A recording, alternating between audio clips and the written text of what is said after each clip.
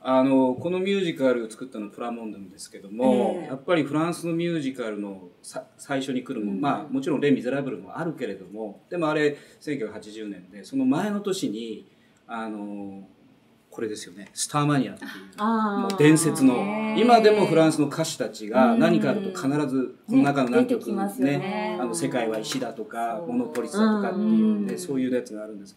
やっぱりプラモンドンって人がやっぱりこうあの仕掛けたっていうかな。そうです。そういう感じがするんですこよれはあのええ。プラモンドンがうん。かあの作詞で、えっと、そうですよね。ミシェル・ベルジェがそうです。作詞してるミシェル・ベルジってあの例のフレンチポップスのうん。あのあはい。もう亡くなっちゃったんですかね。で、はい。それで死んじゃったんでミシェル・ベルジがそれであのコシアンテですか？この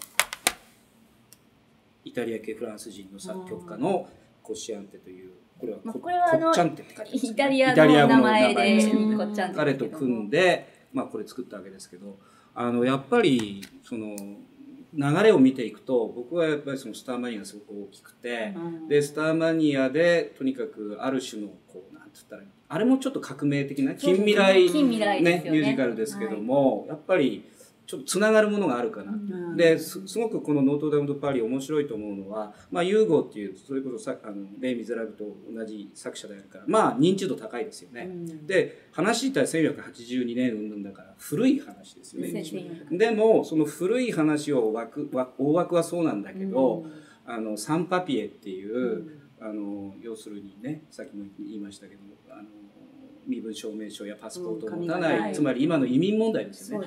そういうのをそこにぶつけてきて、こう合わせてるっていうのはええ何とも言えない、そうまいなと思いますね。戦略として。もしアートが一番こう爆発できるっていうか、うん。社会に対してとえか、こうなんていうか訴えられる、直接じゃなく訴えられる形なので、うんだからいろんな政治の話をしますね、うん。もうアーティスト同士で、うん日本ではあんまりしないかもしれないですけどまあ、仕事になるかならないかとか、そっちの話の方が多い時がうんあるけど、うん。あっちはもううん。みんなどうやって社会を変えようかっていうのをもう根っこからやってる感じですね。そういうこういうのうん。ね仕掛けをすごいね、うん仕掛けますね。企みを感じるんですよね。でまあたまたまあのケベックの出身ってこともあるから、うん。僕なんかはやっぱりケベックってある意味でフランス以上にフランス的だと思うんですよね。うん。だからそのああいう英語圏の中にいる人がうん。本国に対して持つこう距離感みたいなのもあるだろうし、周りはアメリカのものに対する距離感もあるだろうしその微妙な距離感みたいなのがなんかこうこれに現れてるかなみたいなことはちょっと感じますけどね。うん。相当だからこれはいろんな意味で革新的だなっていうふうに思いますね。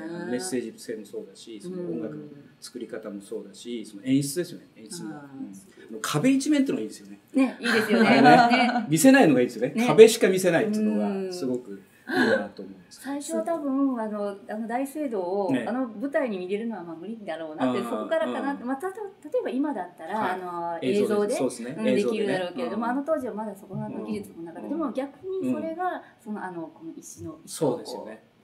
あの壁がほら社会の壁みたいな見えるしうん面白いですよね。ね。あれがバックグラウンドと、うんやっぱ兼ねてますそうよね。ですね。そうそうそう社会と。そうそうそうそそここがが賢いないいつも思うんですよ面白いね。哲学的というか。うんうん他にどんなフランスのミュージカルはもうえー圧倒的にこれは、あまあ 好きなのは。まあこれがまあうダントツなんですけれども、はえっと僕あのこの間あの日本でもやりました「はい。ロミオとジュリエット。あロミオとジュリエッ」トあれもまたもう素敵な作品ですしはいあのあとあの、えっと、コシアントが作曲した「えっとはい。星の王子様あ星野」さん。はい。あれもまたすごく素敵な作品なのでうんまた日本に持ってきてくれたらなと思うんですけれども。星の王子様はなんか可能性あるかもしれないですね。日本人大好きですよね。そうなんですよ、ううんんあれなかなかね作り方がうまいですよそう、うねん、であの中にあの王子様がはい。星を回るのが、うん。あの折り鶴になってるっていうのがなんか日本的で面白いなと思うんですけれども。み見られてますか？私まだ見てないですね。あ全然。いや他のフランスのミュージカル。っー見てないですて例えばなんだろう太陽とか実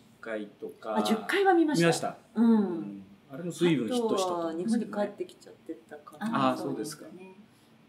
あと今度来るあのモモーツァルト。あれも。ー。あれも見てないですね。あそうです。か今度来ますけでど、ね、これが終わってからどんどん出てきました来ましたね。やっぱりもうこれがあこの大ヒットで、うん。あのフランスのミュージカルの変わりましたね扉を開いたっていう感じ開きましたね。なのでそうですね、まさに。うん。こっからですよね、うん。あのロミジュリの曲とかも良かったのでうん。よく聴いてた、はい。みんな歌ってました。よ10回も。うん。フランスにいた時うは、んだから多かだか13年ぐらいですかそうですぐらいですね。これそうです98年ですからね。やっぱすごいですよね。ですね。毎年大きなの一つぐらいのね作られてリュック・プラモンドンはすごいですね、うん。面白いのに、面白い人なのに。先生はどんはい。なの僕はそうですね。でも今おっしゃった通り、えーこれこれもそうですし、それからあの今言ったロロミオとジュリエットもそうだし、それから実会も好きだし、まあ太陽も好きだし、モーツァルトすいません全部好きなんですけど、あのそれぞれにね面白いなと思いますねです。でも逆に見見れてないスターマニアは見たいですね。あ逆に。ですねうんうん見たいですけど。あとドン・ジュアンはご覧にあ見ました見ました。はい。あれもあれもまたあのこう日本人好みだと思うのであれものすごくだってなんか演歌っぽいですよね歌が。演演歌っぽいです。そんなこと言っちゃいけない。いやいやいやいやでもあれ華ね、僕パリで見パリでしか見てないですけど結構お客さん入ってなかったんですよ。あそうなんですか、ええだから何がいけないのかなうん。結構歌あのこうメロディアスな曲が多かったからですかね。一曲聴く分にはいいけれども、あんまり動きもないなかったじゃないですかね。ね違いますかね。まあ確かにこういうダンスではないでですすけれどよねもね。